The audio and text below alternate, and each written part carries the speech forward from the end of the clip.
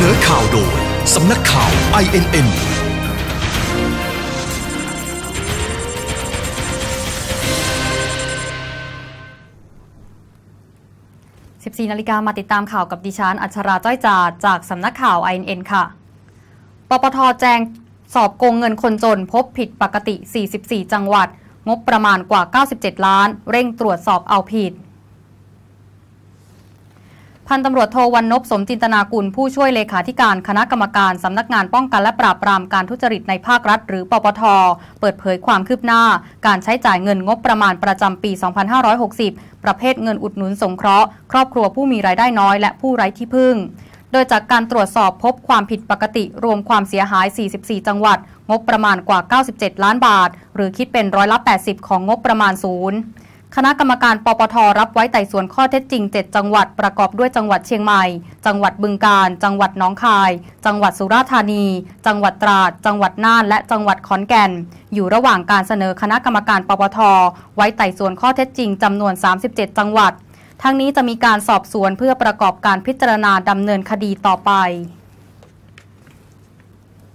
ปณิธานยันพลเอกประวิทย์พิจารณาการปลดล็อกพักการเมืองอย่างต่อเนื่อง ชี้ต้องคำนึงถึงความเรียบร้อยมากที่สุด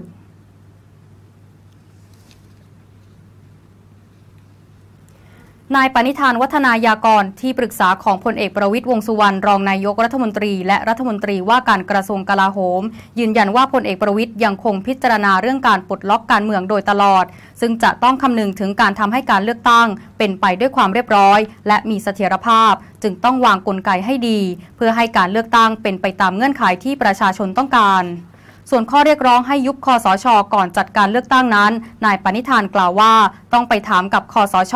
แต่ส่วนตัวมองว่าภารกิจหลักของคอสช คือการดูแลภาพรวมและความเรียบร้อย ก่อนที่จะมีการเลือกตั้ง จึงต้องหารือกับคอสช ว่า ภารกิจเหล่านี้ใครจะเป็นคนทำส่วนกรณีที่นายธนาธรจึงรุ่งเรืองกิจจับมือกับนายปิยบุตรแสงกนกกุล อาจารย์คณะนิติศาสตร์ มหาวิทยาลัยธรรมศาสตร์ จัดตั้งพักการเมืองใหม่ นายปณิธานกล่าวว่า หากเป็นการดำเนินกิจการทางการเมือง ตามปกติฝ่ายความมั่นคงก็จะไม่เข้าไปยุ่งเกี่ยว โดยฝ่ายความมั่นคงจะดูแลในภาพรวมเท่านั้น อย่างไรก็ตามแม้ประชาชนอาจจะมีความกังวลบางเรื่อง แต่คอสชไม่ได้กังวลในเรื่องใด ทุกอย่างยังเป็นไปด้วยความเรียบร้อยดี ผู้บัญชาการตำรวจแห่งชาติยืนยันเปรมชัยกลับประเทศไทยแล้ว มั่นใจสำนวนแน่นหนาสามารถเอาผิดได้พลตำรวจเอกจักรทิพย์ชัยจินดาผู้บัญชาการตำรวจแห่งชาติ ยืนยันนายเปรมชัยกนสูตร เดินทางกลับเข้าประเทศไทยแล้ว ตามข้อมูลของสำนักงานตรวจคนเข้าเมือง โดยเดินทางมาถึงเมื่อวานนี้ด้วยเครื่องบินส่วนตัว สำหรับสำนวนคดีผู้บัญชาการตำรวจแห่งชาติระบุว่าพลตำรวจเอกศิวรารังสีพรามนกุลรองผู้บัญชาการตำรวจแห่งชาติ ยืนยันว่าสามารถเอาผิดนายเปรมชัยได้อย่างแน่นอน ซึ่งตนเองไม่ได้เข้าไปยุ่งเกี่ยวกับสำนวนคดี เนื่องจากได้มอบหมายให้พลตำรวจเอกศิวรา ซึ่งมีประสบการณ์ในด้านงานสืบสวนสอบสวนเป็นผู้รับผิดชอบอย่างไรก็ตามสำหรับกรณีที่มีกระแสข่าวว่า มีปัญหาระหว่างหน่วยงานกรมอุทยานและสำนักงานตำรวจแห่งชาติ พลตำรวจเอกจักรทิพย์มองว่าเป็นเรื่องที่สามารถพูดคุยกันได้อยู่แล้ว ที่ผ่านมาพลตำรวจเอกศิวราก็ทำหน้าที่มาดี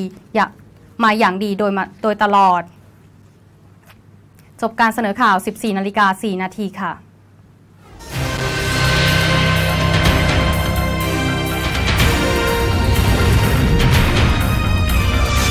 เสนอข่าวโดย สำนักข่าว INN